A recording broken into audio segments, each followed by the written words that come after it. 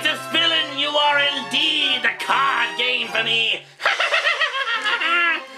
ah, and it's just what I needed after getting stomped in the face by a bunch of nerds. Still, I think I'm starting to like this dimension. Insano is far too busy taking care of that genetic accident he calls a son to be a true science villain. So I guess that task falls onto me!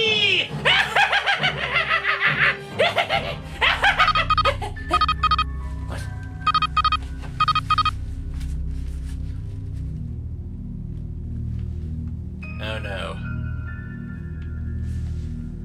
He's coming. He's coming!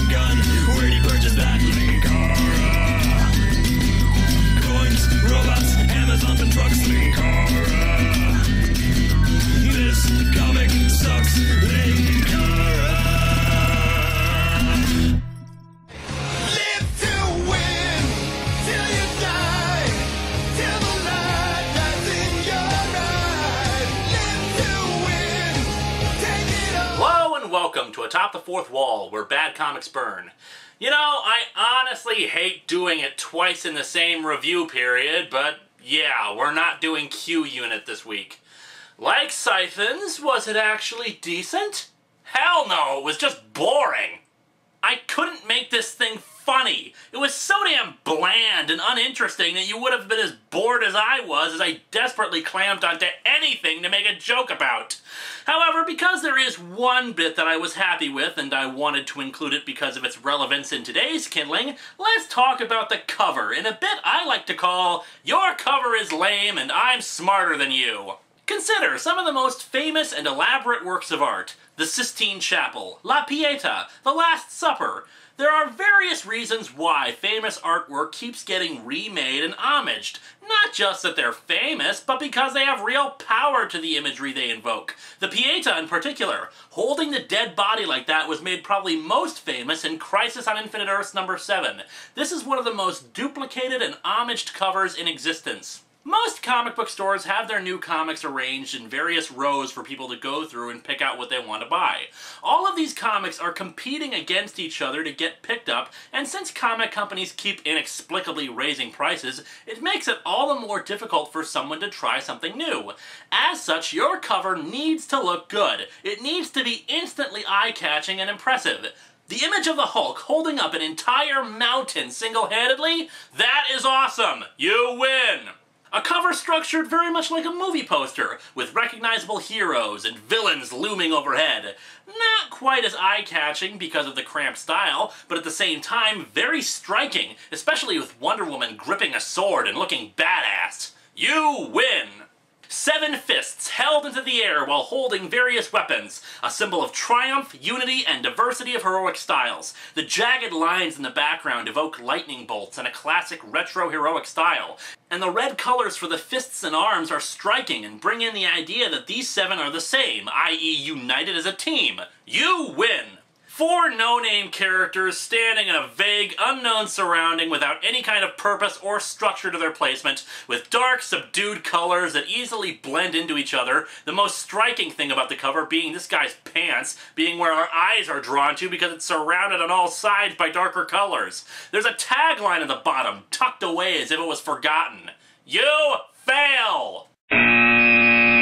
This is not a cover that says, we care about what we're writing. This is a cover that says, we slapped this together yesterday over lunch and figured somebody might buy it. Someone's face? It's stupid, and they couldn't be bothered to draw the whole character. Standard group shot? There are plenty of ways to make a group shot interesting. Just having them stand there isn't one of them. Covers are vitally important to making a comic stand out.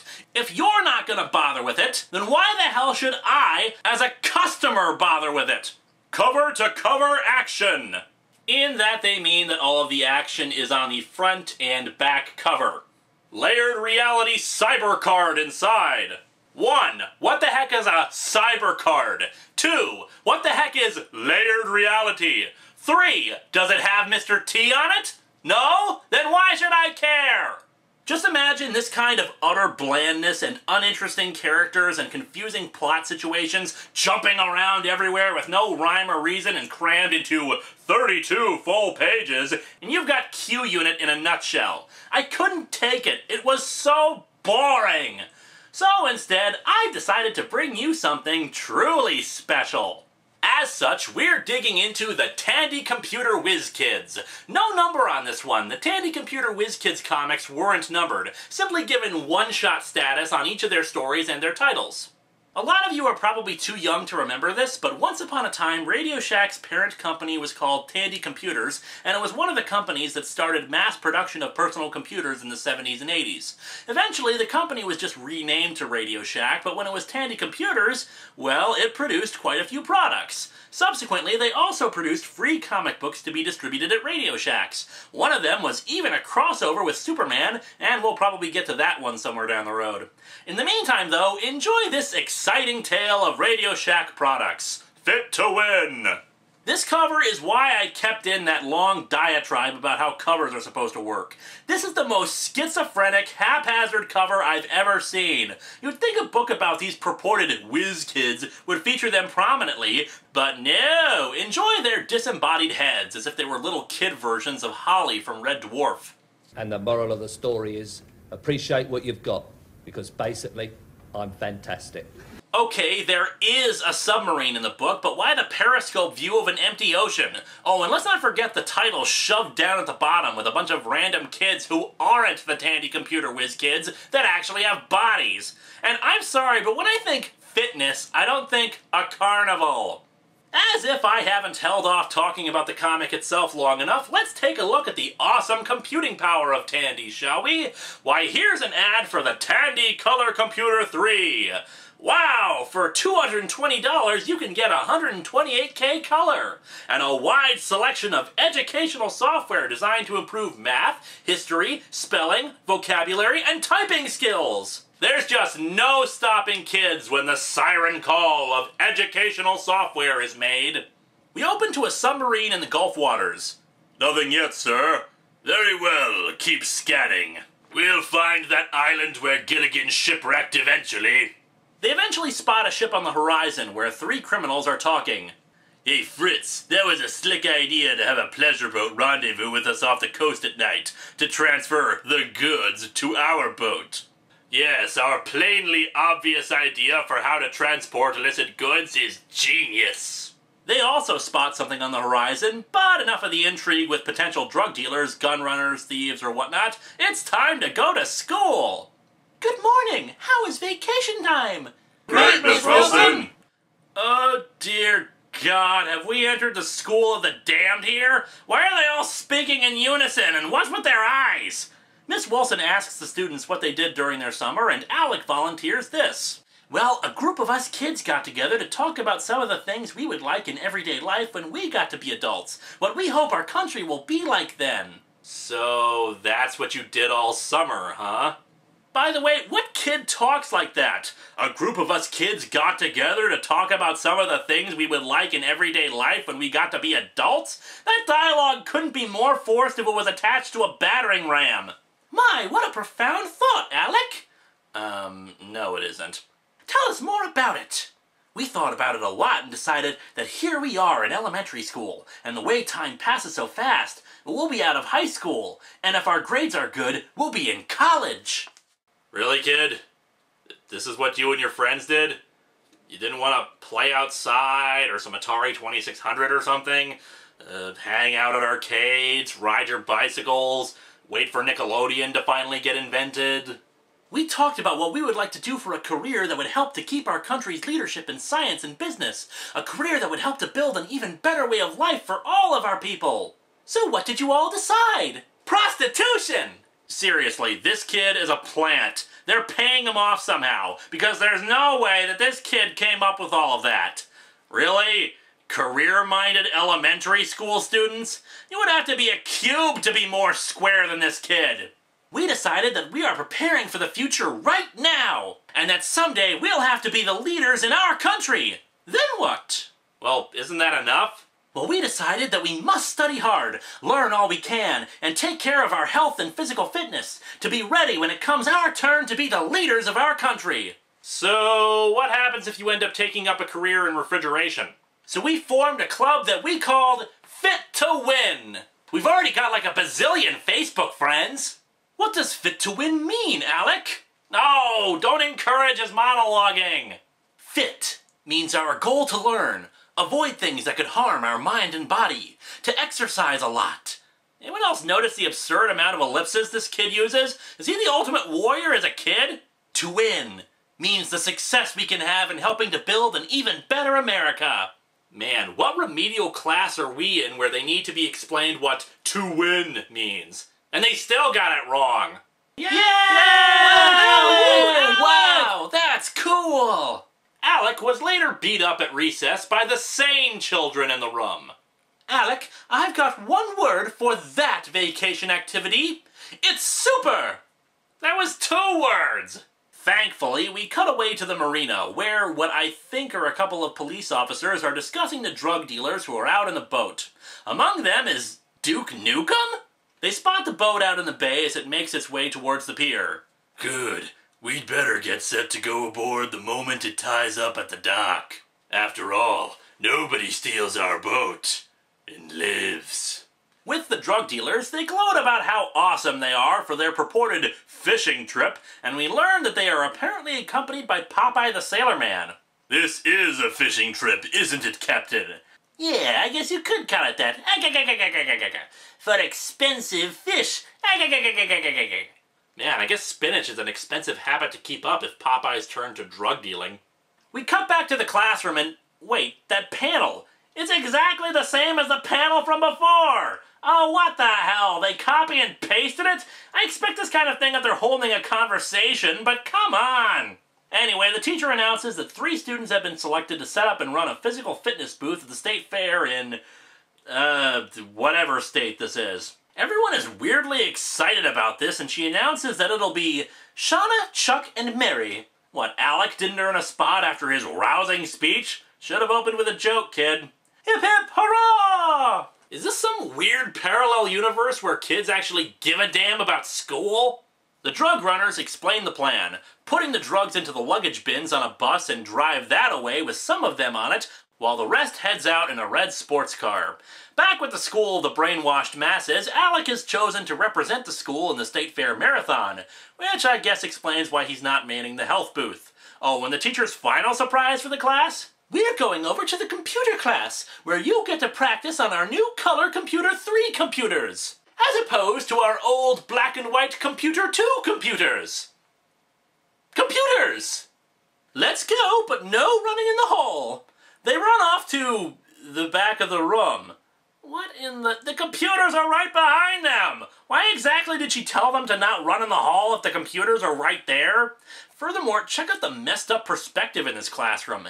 Either these are the tallest children in all of elementary school, or that chalkboard is put way too low to the ground. And a school minivan moves along Bay Street. Yeah, minivan, aka the short bus. Hey, wait a second, weren't we just about to show the computers? It took them like 12 pages to finally have the story mention them, and you're not even gonna show them off? On the way to wherever, the kids spot the drug runners loading things into the bus. That seems odd to me. Why? Yeah, that can't be fish he's loading. Why not? Why do you kids even care? Why are you staring at the docks when you could be talking to each other about Nintendo or Transformers or something? Please, Miss Jackson, stop long enough for me to make a phone call. That convenience store across the street has a phone booth. Okay, but hurry. We're running a little late. What? Why are you letting her do this? She could be making a crank call or something. Worst adult ever. The girl, Shanna, calls the police station, apparently knowing one of the detectives. The detective isn't there, but the cop on duty relays the message to Detective Shaw. See? These whiz kids are plants! Otherwise, why in the heck would the cop relay a random tip about people unloading stuff off of a boat that seemed odd to her? Naturally, this tip is exactly what they need to figure out the whole scheme of the drug runners. Detective Shaw and Duke Nukem are on the case, spotting a red sports car going 90 on the freeway. Born to be wild. Might be the sports car of the criminals, instead of, you know, letting something actually happen, Detective Shaw calls in with his new CT300 cellular phone with its speed dialing. Ladies and gentlemen, we have product placement. That was a quick call, Shaw. Didn't I hear you say that new CT300 has a memory for speed dialing as many as 40 numbers? Right, Jones. You ought to have one of them for your work. Saves a lot of time in emergencies. You're pissing me off. Well, Jones, I hope Palm City PD was able to nab those suspects. And incidentally, I've got a hunch they are the people Shanna saw at the docks unloading. Probably narcotics! Wait, wait, wait, wait. Probably narcotics? Not just narcotics? Okay. We then switch to the drug runners from the bus discussing what to do about the fishermen who helped them, what happens if the others in the sports car are caught, etc., etc. I honestly don't get the point of this scene. It's filling plot holes that nobody was asking about. Had to stay fair, we find our whiz kids talking to each other. I can hardly wait to start running in the school marathon race. I'm gonna try my hardest for our school. Thanks for clarifying that. I thought you were going to half-ass it and embarrass both yourself and the school. While you're running, I'll be on duty at our school's health and physical fitness booth, wearing my TRC 500 headset walkie-talkie. These TRC 500 walkie-talkies are super for running, jogging, or working at the booth like you'll be doing. Voice activation of the TRC 500 allows hands-free operation. That's what counts. Alec, why are you doing a commercial? I know all of that! I'm the one who bought them! The race begins, and the other students open up their boring health and fitness booth, manned by Shanna, some unknown girl, and Screech from Saved by the Bell. They are immediately accosted by two morons. What does that mean? Avoid substance abuse. It means avoid abusing substance in your comics. Substance is the enemy of this sort of story, and we don't want too much of it. Substance abuse includes not only drugs, but also alcoholic drinks. Both can harm your mind and body. Um, isn't this comic about Tandy computer products? Wait a second. Oh me, oh my, oh me. I thought this was just a straightforward advertising piece like the Kool-Aid Man comic, but this is much more. This is a PSA comic as well. Which means it's time to unveil a new segment of Atop the Fourth Wall. Welcome, my friends, to PSA Hell.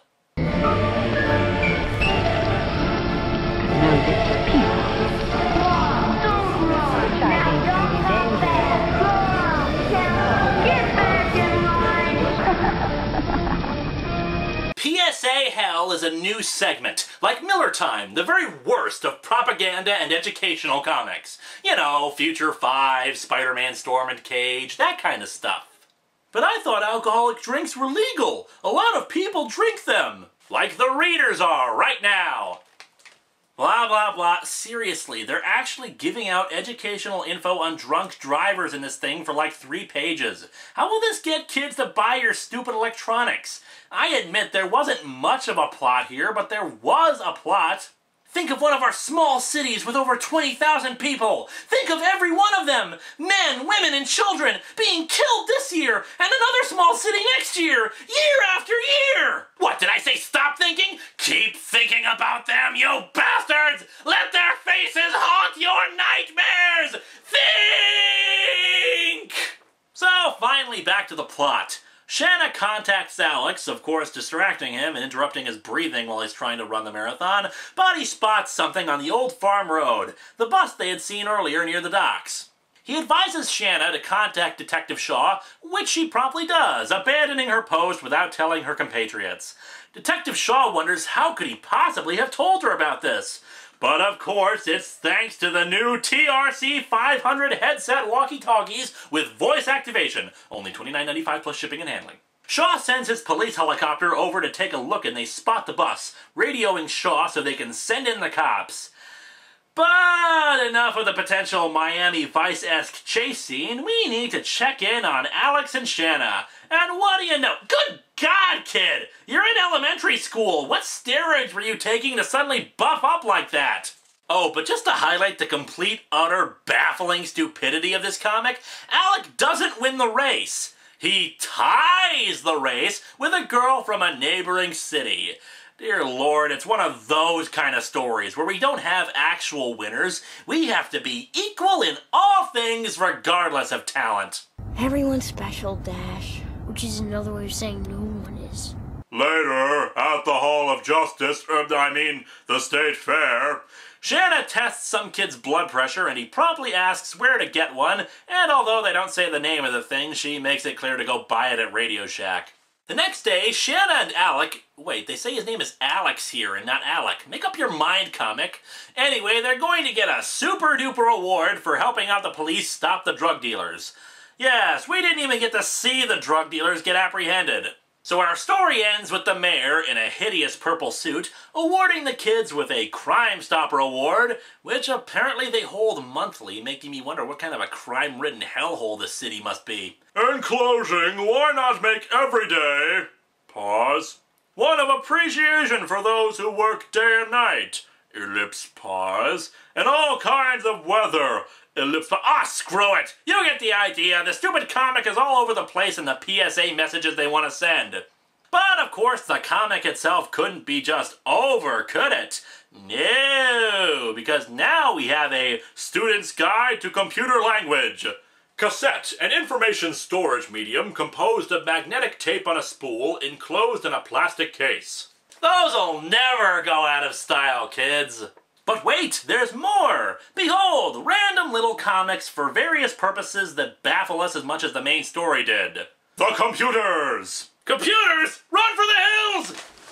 Nationwide, in crowded air terminals, computers are speeding processing of reservations and tickets. And yet you should still expect delays of at least two hours. Computers like the Tandy 1000 are being used as teaching aids to build skills in math and science. And then later, kids will delete all of that nonsense to make room for Oregon Trail. To access information services like CompuServe, an electronic encyclopedia at your fingertips. Great for helping with home study assignments. CompuServe was the Wikipedia of its day. Teachers refused to recognize it as a credible source for information. Computers also aid in today's science research, meteorology, and they can be programmed to operate machines like robots, used in many manufacturing plants. Such magnificent robots like Skynet, which can. Oh my god! Ah! Then we get an abridged version of computer history, including computers and astronomy. The world's first all electronic computers, as opposed to the computers made of rocks and bamboo, were made in the United States at the end of World War II. These computers contained thousands of vacuum tubes, resistors, capacitors, and switches, and required a room sized space. Doom was hard to play in those days. You had to fill out like 10 punch cards in order to shoot your pistol.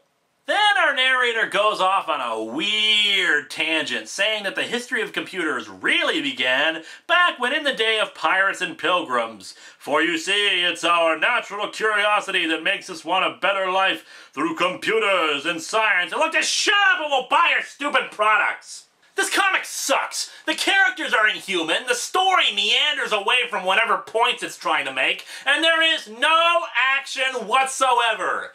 Still, it was a lot more entertaining than Q Unit, so I guess.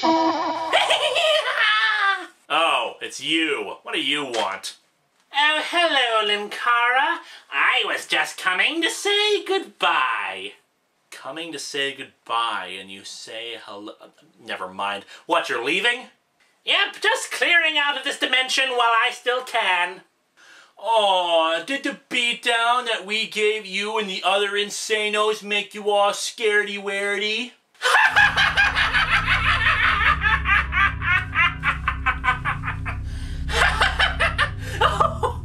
Oh, you sad, stupid, silly little comic book nerd! Did you ever stop and wonder why I left my universe to begin with? Well, no, but then again, I'm still trying to reconcile this whole Spoonie is Dr. Insano thing, which I still don't entirely believe, given what I saw happen before with. Ha! You incompetent little worm! There are forces in the multiverse far beyond anything you've ever dealt with. Ancient, mindless evils that fill in the cracks and eat dimensions just for a snack. Monstrous deities and empires spanning universe after universe have risen and fallen in the span of forever. But there is still one individual, one being that they are all horrified of. When I saw him coming near my universe, I fled. Weep for your universe, Linkara. Weep for all universes, for Lord Vyce is coming. and all that he sees, he conquers.